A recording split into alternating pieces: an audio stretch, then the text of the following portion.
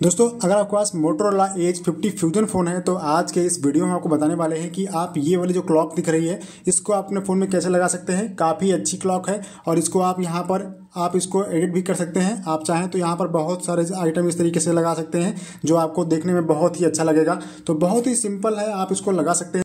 आपको क्या करना है? यहाँ स्क्रीन पर अपने होम स्क्रीन पर लॉन्ग प्रेस करना है। लॉन्ग प्रेस करेंगे तो यहाँ पर देखिए विज़िट का ऑप्शन आपको मिल जाता है।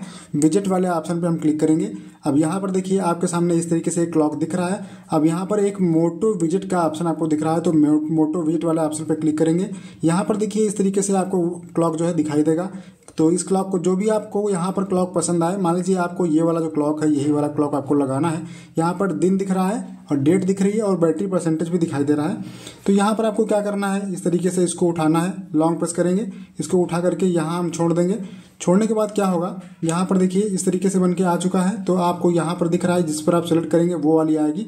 मान लीजिए हमको ये वाला जो है, ये अच्छा लग रहा है तो हम यहाँ पर क्लिक कर देंगे। देखिए, यहाँ पर डॉट सारे बन के आ चुके हैं। या फिर आपको अगर ये अच्छा लगे तो सिंपल वाला तो ये वाला आप रख सकते हैं। देखिए, हमने ये कर दिया।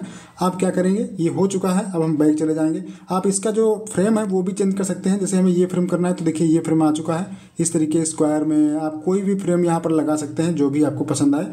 तो इसे हमें ये अच्छा लगा, इसको हमने लगाया। अब यहाँ पर हम बैग चले जाएँगे। तो बैग जाने के बाद देखिए, ये जो क्लॉक है, वो यहाँ पर आ चुकी है। अब इसको हम कैसे ले जाएँगे अपने फ्रंट में तो हम क्या करेंगे, यहाँ पर देखिए, ये दिख रहा है टाइम पहले से, इसको हम रिमूव कर देंगे। यहाँ से इसको हम रिमूव चल, कर देंगे तो ये चला गया यहाँ से। अब यहाँ स्पेस खाली हो चुका है तो हम यहाँ पर आएँगे और इसको उठा करके लॉन्ग प्रेस करके छोड़ेंगे नहीं इसको, यहाँ पर छोड़ेंगे आके फ्रंट पेज पे। तो देखिए, ये फ्रंट पे आ चुका है। अब हम क्या करेंगे, इस कॉर्नर को पकड़ेंगे और थोड़ा सा यहाँ पर देखिए, इतना आप रख दीजिए और इसको आप यहाँ इस तरीके से थोड़ा सा कर सकते हैं। अब देखिए यहाँ पर दिख रहा है। अगर आप इसको लॉन्ग और खींचेंगे थोड़ा तो ये दूसरे टाइप का हो जाएगा। आपको दिखाते हैं कैसे बनता है।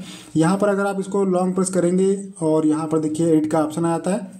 अगर आप ये कॉर्नर पकड़ के इसको डॉट पकड़ के खींचेंगे तो यहाँ देखिए इस तरीके से टाइम आपका आ जाएगा। यहाँ पर सब कुछ वही है, बस तरीका शो होने का दिख अलग दिख रहा है। तो इसको आप थोड़ा छोटा करेंगे तो ये इस तरीके से आपका क्लॉक दिखाई देगा। तो ये क्लॉक काफ़ी अच्छा लगता है आपके फ़ोन में। अगर आपको पसंद आए तो इसको ज़रूर ट्राई कीजिएगा, एक बार करके देखिएगा।